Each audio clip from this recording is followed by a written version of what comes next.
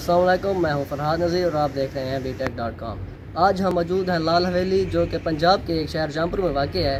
اس کی کنسٹرکشن دو ہزار دو میں سٹارٹ کی گئی اور دو ہزار دس میں اس کی کنسٹرکشن کمپلیٹ کی گئی۔ اس کا نقشہ سوات کے مغل شاہی قلعے کی بیس پر رکھا گیا اور اس میں موجود تمام اشیاء سوات سے ہی منگوائے گئے۔ اور ایسی چیزیں سوات سے منگوائی گئی جو تقریباً چار سو سال پرانی ہیں۔ اب میرے پیچھے یہ جو پلر دیکھ رہے ہیں، یہ سوات سے منگوائے گئے ہیں اور یہ تقریباً چار سو سال پرانے ہیں۔ اور ان کی مالت تقریباً پانچ لاکھ روپے ہے یہاں سے لال حویلی کا کمپلیٹ ویو نظر آ رہا ہے۔ چلیے، آپ کو لال حویلی کی سیر کرواتے ہیں۔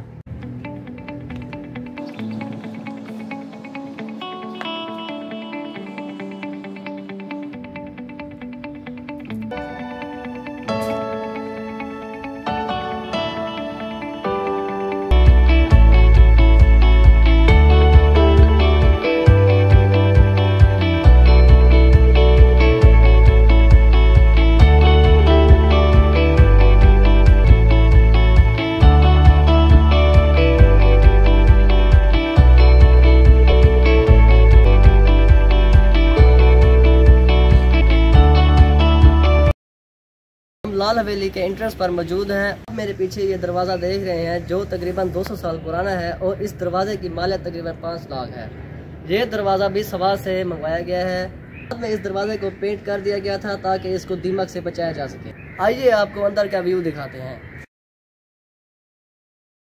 دوستو، ہم لال حویلی کے اندر موجود ہیں اور آپ کو یہ جو گملے نظر آ رہے ہیں، یہ افغانستان سے امپورٹ کیے گئے ہیں اور ان کی مالیت بھی تقریباً لاکھوں میں ہی ہے۔